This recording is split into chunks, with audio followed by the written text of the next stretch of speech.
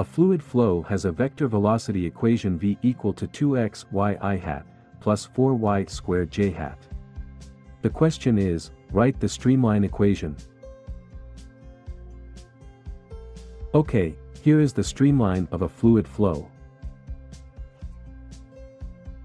Streamline is a line that states the direction of flow velocity. For example, on this line there are particles. So, the direction of the particle's velocity is the gradient of the line that passes through the particle, and is tangent to the streamline line at that point. Based on the concept of kinematics motion, the displacement of a particle is in the same direction as the instantaneous velocity of the particle. Suppose, the particle moves a distance ds.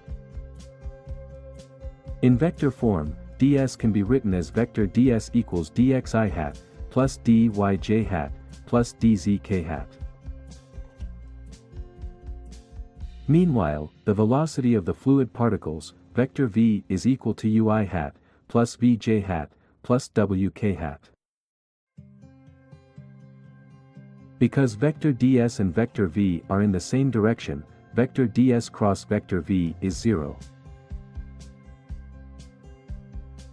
Using the concept of cross product. We will produce an equation like this. Because the value on the left side is the same as on the right side. Then the value of each component on the left side is the same as the value of each component on the right side. For i component, w dy minus v dz equals 0. Or, dy over v equals dz over w. Likewise, j component, u dz minus w dx equals 0, or dz over w equals dx over u. And, k component, v dx minus u dy equals 0, or dx over u equals dy over v. Putting all the values together, dx over u equals dy over v equals dz over w. This is the streamline equation. The first stage is identification. The velocity component on the x, u-axis is equal to 2x y. Velocity components on the y-axis. v is equal to 4y squared. So, now, we can calculate the streamline equation. Because u and v only contain x and y variables, we can draw streamlines in two-dimensional coordinates. We can use the streamline equation. dy over v is the same as dx over u. Plugging in the u and v values, dy over 4y squared is equal to dx over 2xy. Cross out the y value. Integrate both sides.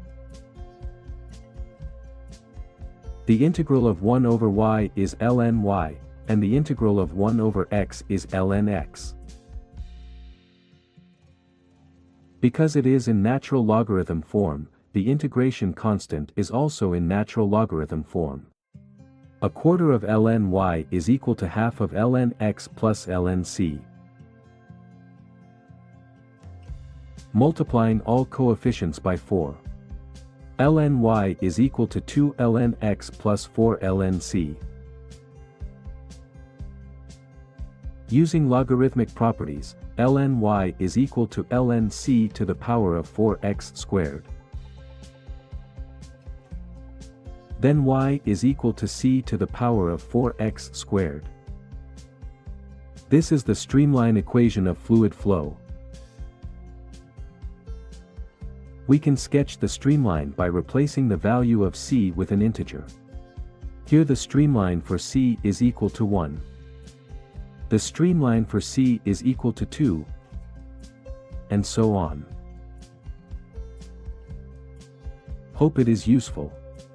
And, don't forget to watch the next video. I like to be educated, but I'm so frustrated. Hello to